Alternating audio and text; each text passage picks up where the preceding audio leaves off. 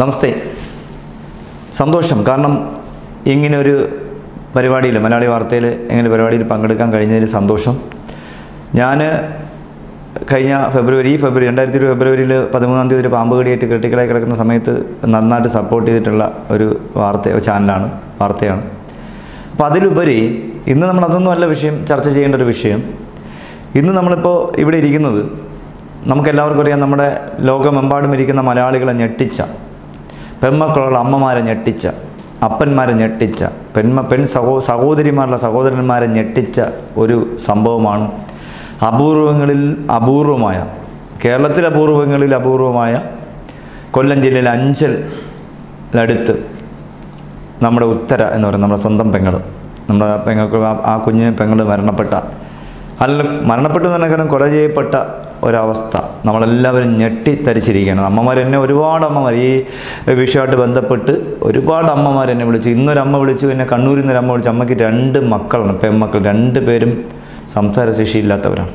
അതിലൊരാളിനെ കല്യാണം കഴിക്കാമെന്നും പറഞ്ഞ് ഒന്നും വേണ്ടെന്ന് കല്യാണം കഴിക്കാമെന്ന് പറഞ്ഞ ഒരാളൊന്ന് കല്യാണം കഴിച്ചിട്ട് ഒരു മാസം കഴിഞ്ഞപ്പോൾ ആ കുട്ടിയെ അടിക്കാനും ഇടിക്കാനും സംസാരിക്കാത്തതുകൊണ്ട് അതൊന്നും പറഞ്ഞില്ല. പക്ഷെ അത് ഡൈവോഴ്സായി അമ്മ എന്നോട് പറഞ്ഞു നന്നായിട്ട് പ്രതികരിക്കണം മക്കളെ കരഞ്ഞുകൊണ്ടാണ് എനിക്ക് എന്നോട് എന്റെ അടുത്ത് പറഞ്ഞത്. അങ്ങനെ ഒരുപാട് പേര് ഒന്നോ രണ്ടോ നൂറോ പേരൊന്നുമില്ല എന്തായാലും എനിക്കൊരു ചാരിതാർത്ഥ്യമുണ്ട്. എന്റെ മനസ്സിന് ചാരി തെളിഞ്ഞപ്പോൾ എന്റെ മനസ്സിനൊരു ഒരു എന്താ പറയുക ഒരു ഒരു എന്താ ഒരു ഒരു എന്തോ ഒരു നന്മ നല്ല കാര്യം ചെയ്തതായിട്ട് എനിക്ക് തോന്നി. കാരണം ആദ്യത്തെ കടി മുതൽ ഉത്തരയുടെ വീട്ടിൽ അണലി ഉത്തരയുടെ ഹസ്ബൻഡിന്റെ വീട്ടിൽ അണലിയുടെ കടിയേറ്റം എന്ന് പറയുന്ന സമയം മുതൽ എന്റെ മനസ്സിലൊരു സംശയം ദുരി ഇങ്ങനെ എന്താ പറയുക സംശയം ഇങ്ങനെ ഉടലെടുത്തുകൊണ്ടിരിക്കുകയാണ്. ഒരു കത്തിയോ ഒരു വാളോ വെട്ടോത്തിയോ ഒരു കുന്തമോ ഒന്നുമല്ല അല്ലെങ്കിൽ ഒരു തോക്കോ ഒന്നുമല്ല വെപ്പൺ അല്ലെങ്കിൽ ആയുധം ഇതൊരു പാമ്പാണ്. പക്ഷേ ഇന്ന് നമുക്ക് നമ്മുടെ ആ പാമ്പിനെ പോസ്റ്റ്മോർട്ടം ചെയ്തു. ചെയ്ത സമയത്ത് തന്നെ എല്ലാ മാംസമൊന്നും കിട്ടിയിട്ടില്ല. എന്റെ അസ്ഥി കിട്ടി ബാക്കി സ്കിന്ന് കിട്ടി ബാക്കി എല്ലാ കാര്യങ്ങളും ചെയ്യാൻ പറ്റി. എന്തായാലും സൂപ്പർ. ഞാൻ മെനിയാന്ന് കഴിഞ്ഞ ദിവസം ഒരു വാർത്ത പറഞ്ഞിരുന്നു. സൂവായിട്ട് ബന്ധപ്പെടുന്ന ഏതെങ്കിലും ഡോക്ടർമാരെ കൊണ്ട് വേണം വെറ്ററിനറി വെറ്റിനറി ഡോക്ടർമാർ വേണം ഇതിന് ഇത് സർജറി ഇത് എന്റെ പോസ്റ്റ്മോർട്ടം ചെയ്യാനെന്ന് പറഞ്ഞിട്ടുണ്ടായിരുന്നു. അത് വളരെ സന്തോഷം. ഏറ്റവും നല്ല പ്രഗത്ഭന്മാരായ മൂന്ന് ഡോക്ടർമാരാണ് നമുക്ക് ഇന്നത്തെ പോസ്റ്റ്മോർട്ടത്തിൽ പങ്കെടുത്തിരിക്കുന്ന ഒന്ന് സൂവിന്റെ നമ്മുടെ എന്റെ പ്രിയ സുഹൃത്ത് എന്റെ പ്രിയ സുഹൃത്ത് അദ്ദേഹത്തിന്റെ സുഹൃത്താണ് ഞാൻ ജേക്കബ് അലക്സാണ്ടർ സാർ. അദ്ദേഹത്തിന് നല്ല അദ്ദേഹം സൂവിൽ ഒരുപാട് പാമ്പുകൾ മരണപ്പെടുമ്പോൾ അതായത് അവിടെ ഇവിടുന്ന് മരണപ്പെടുന്ന എല്ലാ ജീവികളെയും പോസ്റ്റ്മോർട്ടം ചെയ്യുന്ന പുള്ളിയാണ്. അപ്പോൾ പുള്ളിക്ക് കുറച്ചുകൂടി കാര്യങ്ങൾ അറിയാൻ കഴിയും. അത് കഴിഞ്ഞ് ഡോക്ടർ ലോറൻസ് സാർ നമ്മുടെ കുതിരാലയത്തിന്റെ സ്പെഷ്യൽ ഡോക്ടറാണ് സർക്കാരിന്റെ ഡോക്ടറാണ് അദ്ദേഹം ഉണ്ടായിരുന്നു. അത് കഴിഞ്ഞ് നമ്മുടെ ഫോറസ്റ്റിന്റെ ഫോറസ്റ്റ് ഫോറസ്റ്റിന്റെ ഡോക്ടർ കിഷോകുമാർ സാർ ഒക്കെ ഇതിലുണ്ടായിരുന്നു. മൂന്നും പ്രഗത്ഭന്മാരാണ്. അപ്പോൾ അവർ ചെയ്യേണ്ട കാര്യങ്ങൾ കൃത്യമായിട്ട് ചെയ്തിട്ടുണ്ട്. അതിന്റെ പല്ലിന്റെ കുട്ടിയുടെ ഉത്തരയുടെ ദേഹത്തുള്ള കടി പാമ്പ് കടിയുടെ ആ പല്ലിന്റെ അകലം ഈ പാമ്പിന്റെ പല്ലിന്റെ അകലമൊക്കെ അവർ ശേഖരിച്ചിട്ടുണ്ട്. കൃത്യമായിട്ട് അതിന് നടപടി ഉണ്ടായിട്ടുണ്ടെന്നാണ് എനിക്ക് ഉണ്ടാവുമെന്നാണ് എന്റെ വിശ്വാസം. അന്ന് തൊട്ട് എന്നെ വിളിച്ചവരോടൊക്കെ ഞാൻ പറഞ്ഞു ഇതൊരു കൊലപാതക ശ്രമമാണ് എന്ന്. ആ ഇത് ഇത് കാണുന്നവർക്ക് അറിയാൻ പറ്റും. ഇത് കാണുന്ന എന്നെ വിളിച്ചിട്ടുള്ളവർക്ക് അറിയാൻ പറ്റും. അത് കഴിഞ്ഞ് രണ്ടാമത്തെ കടിയായപ്പോൾ ഞാൻ ഉറപ്പായിട്ട് നൂറ് ശതമാനം പക്കട്ട് ആദ്യത്തെ കോൾ മുതൽ എന്റെ അഞ്ജലി വീടിനടുത്തുള്ള ആൾ ഉൾപ്പെടെ കുളത്തുപിള്ള മനു ഉൾപ്പെടെ അവരൊക്കെ എനിക്ക് ഒരുപാട് ഇത് ഈ അന്വ ഇതുമായിട്ട് ബന്ധപ്പെട്ട് ആ വീടിന്റെ പരിസരത്തുള്ള ചലനങ്ങൾ ഉൾപ്പെടെ മരണപ്പെട്ടതിന് ശേഷം അവിടുത്തെ വീട്ടിന്റെ ഹൈറ്റ് വീട്ടിന്റെ ചുറ്റുപാട് മാറി കാടുകൾ കിടക്കുന്നുണ്ടോ മരങ്ങൾ പടന്ന് കിടപ്പുണ്ടോ എന്നൊക്കെ എനിക്ക് അറിയാനുള്ള സഹായം ചെയ്തെന്ന് അവരൊക്കെയാണ്. അവരൊന്നും ഒരിക്കലും മറക്കാൻ കഴിയില്ല. അപ്പോൾ ഞാൻ ഇത് ആദ്യം തൊട്ടേ പറയുന്നു ഇതൊരു മരണമാണ് ഇതൊരു കൊലപാതക ശ്രമമാണ് ഇതൊരു സാധാരണ സ്വാഭാവിക മരണമല്ല. ഇതൊരു പ്ലാൻഡ് ഒന്നോ രണ്ടോ മാസം കൊണ്ടോ ഒന്നും പ്ലാൻ ചെയ്തിട്ടുള്ളൊരു ഒരു കൊലപാതകമല്ല. ഇത് നന്നായിട്ട് പഠിച്ച് കൈകാര്യം ചെയ്തിട്ടുള്ളൊരു കേസാണെന്ന് എനിക്ക് മനസ്സിലാക്കാൻ കഴിഞ്ഞു. അതിലുപരി അന്നോട്ട് ഞാൻ പറയുന്നത് ഇതേ ഉത്തരയുടെ ബന്ധുവായ നമുക്കറിയാം തിരുവനന്തപുരത്ത് വഴുതക്കാട് അടുത്ത് ഒരു അദ്ദേഹത്തിന്റെ പേര് പൂർവികരായ പൂർവികനായ ഒരാളുടെ പേരുണ്ട് എം ബി അപ്പൻ സാർ. അപ്പൻ സാറിന്റെ മകൻ കൊല്ലം സ്വദേശിയാണ് ഒത്തിരിയുടെ ബന്ധുവാണ്. അപ്പോൾ അദ്ദേഹം എന്നെ വിളിച്ചു. വിളിച്ച് വിളിച്ചുകൊണ്ട് ഇങ്ങനെ എന്റെ ചോദിച്ച കാര്യം ഇതാണ്. സുരേഷ് ഇങ്ങനെ ഇതൊക്കെ ഇതിന് എന്തെങ്കിലും എന്തെങ്കിലും എന്താണ് ഇതിന്റെ കസ ഇതിന്റെ കാര്യം? എന്താണ് സുരേഷിന് എന്ത് തോന്നുന്നു? ഞാൻ പറഞ്ഞു സാറേ ഇത് ഒരു പ്ലാൻഡ് കൊലപാതകമാണ്. ഇത് കേസ് ഫയൽ ചെയ്യണമെന്ന് പറഞ്ഞു. കേസ് കൊടുക്കണം. കേസ് കൊടുത്തേ ഞാൻ ഇതിന്റെ കുറച്ച് ആൾ കുറച്ച് ആൾക്കാരുടെ കൂടെ എനിക്ക് കുറച്ച് കാര്യം കൂടെ അറിയാനുണ്ട്. ഈ വ്യക്തിയുടെ കം പുറത്തുള്ള കമ്പനി കൂട്ടുകെട്ട് ഏതെങ്കിലും പാമ്പ് വരട്ടെ പാമ്പ് കൊടുത്തക്കാട്ട് കണക്ഷൻ ഉണ്ടോ എന്നുകൂടെ അറിയട്ടെ. അറിഞ്ഞതിന് ശേഷം ഞാൻ സാറിനെ തിരിച്ചു വിളിക്കാം. തിരിച്ചു വിളിക്കാം പിന്നെ വീണ്ടും സാറിനെ തിരിച്ചു വിളിച്ചപ്പോൾ ഞാൻ പറഞ്ഞു സാറേ ഇത് കൊലപാതകമാണ്.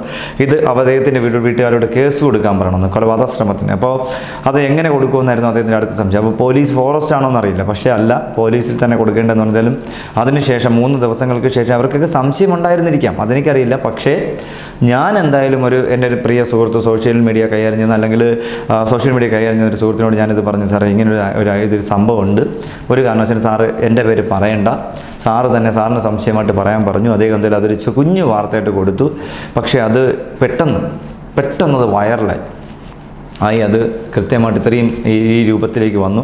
എല്ലാവരും ഒറ്റക്കെട്ടായി നിന്നുകൊണ്ട് ഇതിന് അതിനെതിരെ ഒരു വ്യക്തിക്കെതിരെ ഒരു കൂട്ടം ആൾക്കാർ കൃത്യമായിട്ട് നിന്നുകൊണ്ട് നിന്നതുകൊണ്ട് നമുക്ക് ആ ഒരു ഒരു സാധാരണ സ്വാഭാവിക മരണമെന്ന് സംശയിക്കാവുന്ന സംഭവത്തെ നമുക്ക് കൃത്യമായ റൂട്ടിലൂടെ അതൊരു കൊലപാതകമാണ് എന്ന് തെളിയിക്കാൻ നമുക്ക് കഴിഞ്ഞു. പക്ഷേ ഒരു കാര്യം എനിക്ക് സത്യം പറഞ്ഞാൽ എനിക്ക് ഏറ്റവും ഞാൻ ഇന്ന് ഒരു പാമ്പിനെ പിടിക്കാനും പോയിട്ടില്ല. കാരണം ഒരുപാട് പേരെന്നെ വിളിച്ചു. വിളിച്ചിടത്തൊക്കെ ഞാൻ പറഞ്ഞു ഞാനിന്ന് ഇല്ല. സ്ഥലത്തില്ല. കാരണം ഞാൻ രണ്ട് ദിവസം ഒന്ന് വിട്ടു നിൽക്കാമെന്ന് വിചാരിച്ചു. വേറെ ഒന്നും കൊണ്ടല്ല മനസ്സിനൊരു സുഖമില്ലാത്തതുകൊണ്ട്. കാരണം ഇത് എന്റെ ജീവിതത്തിൽ ഇത്രയും പവിത്രമായിട്ട് കൊണ്ടു നടന്നൊരു സംരംഭത്തെ ഞാൻ തന്നെ വഴിതെറ്റിച്ച് വിട്ടു. കാരണം ഞാൻ കുറേ ആൾക്കാരുടെ പേടി മാറ്റി. പാമ്പ് ഇത്രയേ ഉള്ളൂ. പാമ്പ് ഇത്രയേ ഉള്ളൂ. കൈകാര്യം ചെയ്യാൻ ഈസിയാണ് ഇത് പേടിക്കേണ്ട വസ്തു അല്ല. ഇത് നമ്മളോടൊപ്പം നമ്മുടെ വീടിന്റെ പറമ്പിലൊക്കെ ജീവിക്കട്ടെ അങ്ങ് പൊക്കോട്ടെ എന്ന് പറഞ്ഞ് പേടി മാറ്റി മാറ്റിയപ്പോൾ പാമ്പ് പിടുത്തക്കാരുടെ എണ്ണം കൂടി ഇതൊരു ബിസിനസ്സായി മാറി. ബിസിനസ്സായി മാറി. അപ്പോൾ ഞാൻ വിചാരിച്ചു എന്തായാലും രണ്ട് ദിവസത്തേക്കൊന്നും പോകണ്ട എന്തായാലും ഉത്തരയുടെ മുഖം അങ്ങനെ മനസ്സിൽ കിടക്കുന്നു. അപ്പോൾ എന്തായാലും അതൊരു എന്റെ മനസ്സിൽ നിന്ന് ഒരിക്കലും വിട്ടുപോകില്ല. പക്ഷേ എന്നാലും ചാരിതാർത്ഥ്യം ഇത് ഇതിന് ഇതിന് വേണ്ടി അന്ന് തോന്നൽ വിട്ട് ഇന്ന് വരെ നിങ്ങൾക്ക് ആർക്ക് വേണമെങ്കിലും വിചാരിക്കുക അന്വേഷിക്കാം. എന്റെ അടുത്ത് സംസാരിച്ചവരോടൊക്കെ എന്റെ പ്രിയ പത്ര പത്രമാധ്യമ സുഹൃത്തുക്കളോട് ചാനലിൽ വന്നിട്ട് സുഹൃത്തുക്കളോട് അതോടൊപ്പം തന്നെ നമ്മുടെ എന്റെ സുഹൃത്തുക്കളായ ഫോറസ്റ്റ് ഓഫീസർമാർ R R T Ranni rapid response ടീമിൽ കോന്നി സ്ട്രൈക്ക് ഫോഴ്സിൽ അതുപോലെ രാജാമ്പാറയിൽ ഒക്കെയുള്ള എല്ലാ എന്റെ പ്രിയ സുഹൃത്ത് അശോക് സാറിനോടൊക്കെ ഞാൻ പറഞ്ഞു സാറേ ഇതൊരു കൊലപാതകമാണ്. ഒരു സംശയമില്ല പക്ഷേ ഇത് കൊലപാതകമാണെന്ന് തെളിഞ്ഞ ഉടനെ എല്ലാ ഓഫീസർ സാറന്മാരും എന്നെ വിളിച്ചു. സുരേഷ് സുരേഷിന്റെ റൂട്ടിൽ കൂടി തന്നെ അത് മുന്നോട്ട് വന്ന്. വളരെ സന്തോഷം. അണ്ണാ എങ്ങനെ ഇത് മനസ്സിലാക്കി? എന്നാണ് അവരെല്ലാവരും എന്നോട് ചോദിച്ചത്. പക്ഷേ എന്റെ ഒരു എക്സ്പീരിയൻസ് എനിക്ക് ഇന്നോ ഇന്നലെയോ മെനിങ്ങാന്നോ ഒന്നും അല്ല. ഇപ്പോൾ ജീവിച്ചിരിക്കുന്നതിൽ ബൈജു മാഷും പ്രേംചന്ദ് ചേട്ടനും അതുപോലെ ശംഷുക്കായും ഒക്കെ പോയി കഴിഞ്ഞാൽ അവരെയൊക്കെ മാറ്റി നിർത്തി കഴിഞ്ഞാൽ ബാക്കിയുള്ള പുതിയ തലമുറയിലുള്ള ചെറുപ്പക്കാർ വാമനെ പിടിക്കുന്ന ഇപ്പോഴത്തെ പുതിയ സംരക്ഷകരെക്കാളും എക്സ്പീരിയൻസ് എനിക്കുണ്ട്. ശാസ്ത്രീയമായിട്ടുള്ള പഠനങ്ങളൊന്നുമില്ല. ഞാൻ വലിയ പി എച്ച് ഡി എടുത്തിട്ടുള്ള ഒരാളൊന്നുമല്ല. അതെന്റെ കുറവായിട്ട് എനിക്ക് തോന്നുന്നില്ല. കാരണം എന്റെ ചിന്താഗതി നിന്ന് സാധാരണ പാവപ്പെട്ട പാവപ്പെട്ട ആൾക്കാരുടെ വീട്ടിൽ ഒരു പാമ്പ് കയറി കഴിഞ്ഞാൽ അതിനെ പിടിച്ച് കാട്ടിക്കൊണ്ട് വിടുക എന്നുള്ളതാണ് എന്റെ ചിന്താഗതി. പക്ഷേ അതിലുപരി ഇപ്പോൾ ഈ പേര് പെട്ടെന്ന് സുരേഷിന്റെ കയ്യിൽ സുരേഷ് ചാവരുകാവുന്ന പിന്നെയാണ് വരുന്നത്. സുരേ ഇദ്ദേഹത്തെ പിടികൂടുകയും ആ ഉത്തരയുടെ ഭർത്താവ് എന്ന് പറയുന്ന വ്യക്തിത്വത്തെ പിടികൂടുകയും അതോടൊപ്പം തന്നെ അത് പാമ്പിനെ കൊടുത്ത് എന്ന് പറഞ്ഞാൽ ക്രയവിക്രയം നടത്താനായിട്ട് നിയമമുള്ള ഒരു സാധനമല്ല ഒരു ജീവി അല്ല വന്യമൃഗങ്ങൾ അല്ലെങ്കിൽ ഫോറസ്റ്റ് ആക്റ്റിൽ പെടുന്ന സാധനങ്ങളൊന്നും അതിനെ ക്രയവിക്രയം നടത്തി വാങ്ങിയത് കുറ്റമാണ് വിറ്റത് കുറ്റമാണ്. ഇത് രണ്ട് മരണത്തിന് കൊല ഒരാളുടെ ജീവൻ അപകരിക്കാനായി കൊണ്ടുവന്നത് ഫോറസ്റ്റ് ആക്ട് പ്രകാരം കുറ്റമാണ്.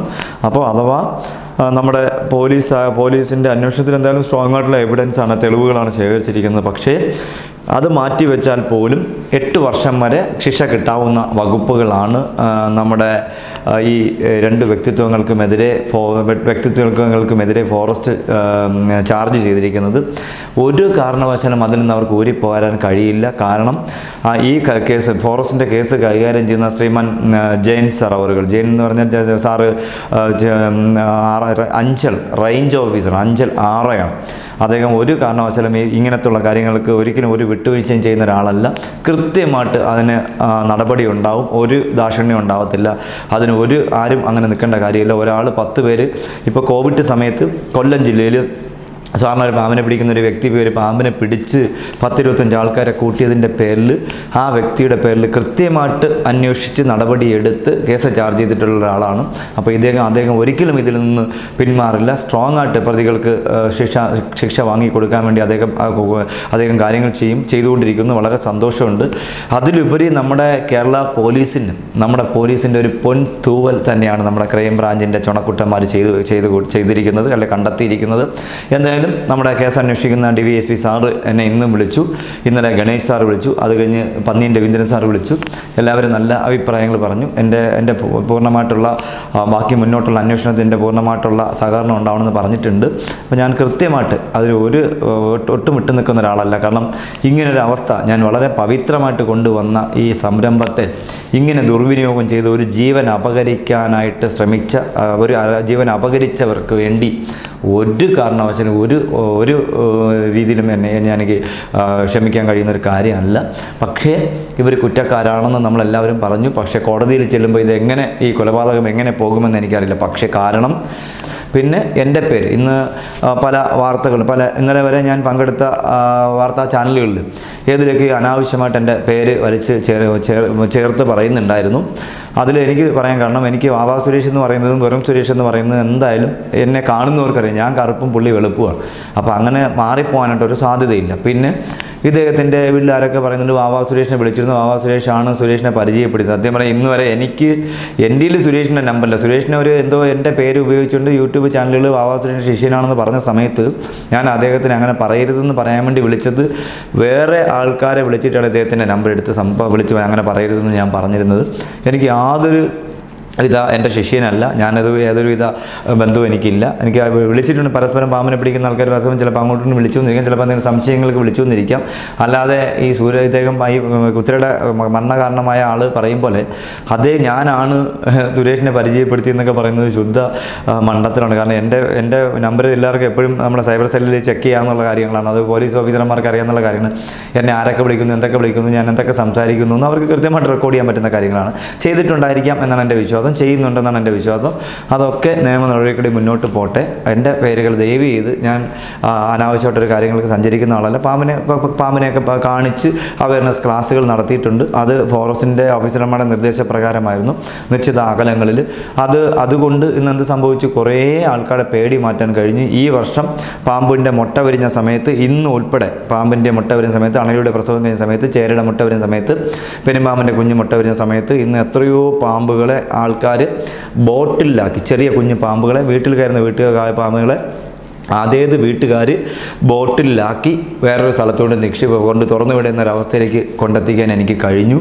അത് പിന്നെ ഞാൻ അവയർനെസ് മുൻകാലങ്ങളിൽ അവയർനെസ് നടത്തിയിരുന്നതെല്ലാം ഫോറസ്റ്റിന്റെ പെർമിഷനോട് കൂടിയാണ്. റിലീസ് ചെയ്യുന്നതിന് ഫോറസ്റ്റിന്റെ പെർമിഷനോട് കൂടിയാണ്.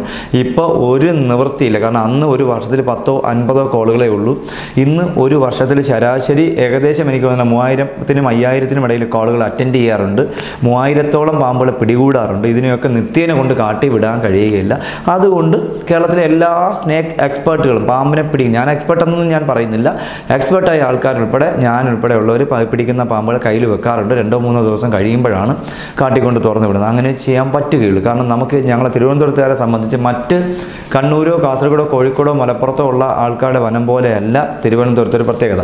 തിരുവനന്തപുരത്ത് വനത്തിന്റെ അളവ് കുറവാണ്. ഒന്ന് പൊന്മുടി പാലോട് ഈ ഒരു മേഖല ഇങ്ങനെ നെയ്യാറ് മേഖലകളാണ്. ഇവിടെയൊക്കെ പണ്ട് പാമ്പിനെ വിട്ടിരുന്ന സമയത്ത് അച്യുതാനന്ദൻ സാർ മുഖ്യമന്ത്രിയായിരിക്കുന്ന കാലഘട്ടത്തിൽ ഇതുപോലെ ഞങ്ങൾ നെയ്യാറിൽ പാമ്പിനെ വിട്ടിട്ട് വന്ന് കുറച്ച് ദിവസം കഴിഞ്ഞപ്പോൾ അവിടുത്തെ തൊട്ടടുത്തുള്ള ആറ്റിന്റെ തീരത്ത് താമസിക്കുന്ന ഒരു ചേച്ചിക്ക് കടി കയ്യിലൊരു കടി കിട്ടി നീർക്കോലിയുടെ കടിയായിരുന്നു.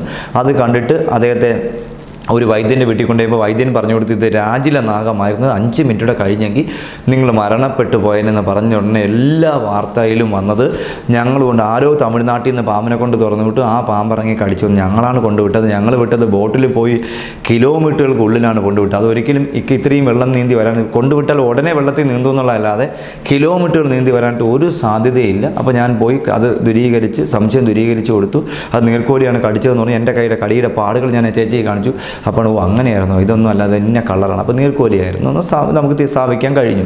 പക്ഷേ അന്ന് തീരുമാനിച്ചു ഇവിടെ പാമ്പിനെ റിലീസ് ചെയ്യണ്ട. അന്ന് മുതൽ ഇന്ന് വരെ ഞാൻ മറ്റ് ജില്ലകളിൽ അതിനിബിഡമായ വനമേഖലകൾ വനത്തിനുള്ള ആൾക്കാർക്ക് എത്താൻ പറ്റാത്ത അത്രയും സാഹചര്യമുള്ള ഉൾവനങ്ങളിലാണ് ഇവ പാമ്പുകളെ കൊണ്ട് തുറന്നു വിടുന്നത്. അപ്പോൾ ആ പോകുന്നത് വരെ ഇതിനെ നമുക്ക് നമ്മുടെ കയ്യിൽ വെച്ച് തന്നെയേ പറ്റുകയുള്ളൂ. പിന്നെ അതെല്ലാ പാമ്പ് സംരക്ഷകരും അങ്ങനെ തന്നെയാണ് ചെയ്യുന്നത്. അതിന്നും തുടർന്ന് പൊയ്ക്കൊണ്ടിരിക്കുന്നു. ഇത് നാളെയും ഇങ്ങനെ ചെയ്യാൻ പറ്റുകയുള്ളൂ. കാരണം ഇത് ഇത് ഇത് അല്ലാതെ ഇതിനെ ശേഖരിച്ച് ഫോറസ്റ്റ് ഓഫീസിൽ കൊണ്ടുവച്ച് ഇതിനെ ഒരുമിച്ച് കൊണ്ട് റിലീസ് ചെയ്യുക എന്ന് പറയുന്നത് പല സ്ഥലങ്ങളിലും ഇതുപോലെ പാമ്പ് ഇരുന്ന് ചത്തുപോയ സംഭവങ്ങൾ ഒരുപാട് റിപ്പോർട്ട് ചെയ്തിട്ടുണ്ട്. പക്ഷേ അത് അത് അതിനെ ഒഴിവാക്കാൻ വേണ്ടി പാമ്പ് സംരക്ഷകരുടെ കയ്യിൽ ഒന്നോ രണ്ടോ ദിവസം ഇരുന്നെന്ന് പറഞ്ഞാൽ അതൊരു വലിയ സംഭവമായിട്ട് കാണാറില്ല കാരണം കാട്ടിൽ പോയി പിടിച്ചുകൊണ്ട് വരുന്നതല്ല. വൈൽഡ് ആനിമൽസ് ആണ്. ഇവിടെ പാമ്പുകളെ പോലെ പ്രാധാന്യം ജനങ്ങളുടെ ജനങ്ങളുടെ ജീവനും സ്വത്തിനും സംരക്ഷണം കൊടുക്കേണ്ടത് ഡിപ്പാർട്ട്മെന്റിന്റെ മാത്രം ജോലിയല്ല പരിസ്ഥിതി പ്രവർത്തകരായ ഞങ്ങളെപ്പോലുള്ളവരുടെ കൂടി ചുമതലയാണ്. അപ്പോൾ ഞങ്ങൾ അത് ഒരു വീട്ടിൽ പാമ്പ് കയറുമ്പോൾ പെട്ടെന്ന് പോയി പിടിച്ച് സേഫായിട്ട് മാറ്റി വെക്കുന്നു. ചിലപ്പോൾ ഞങ്ങൾക്ക് തിരക്ക് കാരണം പോകാൻ പറ്റിയെന്നില്ല. ചിലപ്പോൾ രണ്ടോ ദിവസം മൂന്നോ ദിവസം കഴിഞ്ഞ് മാത്രമേ ഇതുകൊണ്ട് വിടാൻ കഴിയുകയുള്ളൂ. ഇതൊരു വലിയ അപരാധമായി നിങ്ങളെല്ലാവരും ചിത്രീകരിക്കാതിരിക്കുക. എന്റെ കാര്യം മാത്രമല്ല ഇവിടെ കേരളത്തിൽ പല പാമ്പ് സംരക്ഷണയുടെ അവസ്ഥ ഇതാണ്. ഒന്നാമത് സാമ്പത്തികം മോഹിച്ച് പോകണവരില്ല കയ്യിൽ പൈസ കാണുകയില്ല ചിലപ്പോൾ കാട്ടിക്കൊണ്ട് വിടാനായിട്ട്. അത് ഫോറസ്റ്റിനെ ചുമതലപ്പെടുത്താൻ പറ്റുകയില്ല. അത് നമ്മുടെയും കൂടി ഉത്തരവാദിത്തമാണ്. ഇന്ന് നല്ല തിരക്കുള്ള സമയം ഇപ്പോൾ ഈ കാലഘട്ടം നല്ല തിരക്കുള്ള സമയമാണ്. ഗവൺമെന്റ് ജീവനക്കാർക്കൊക്കെ തിരക്ക് കൂടിയ സമയമാണെന്ന് കൂടി നിങ്ങളെ ഓർമ്മിപ്പിക്കുന്നു. എന്തായാലും ഇതൊക്കെയാണ് ഈ വിശേഷങ്ങളാണ് എന്റെ പ്രേക്ഷകരോട് എനിക്ക് പങ്കുവെക്കാനുള്ളത്. ഇനി നമുക്ക് മറ്റു വിശേഷങ്ങളിലേക്ക് കിടക്കാം. ദിവസം മൂന്നോ ദിവസം കഴിഞ്ഞ് മാത്രമേ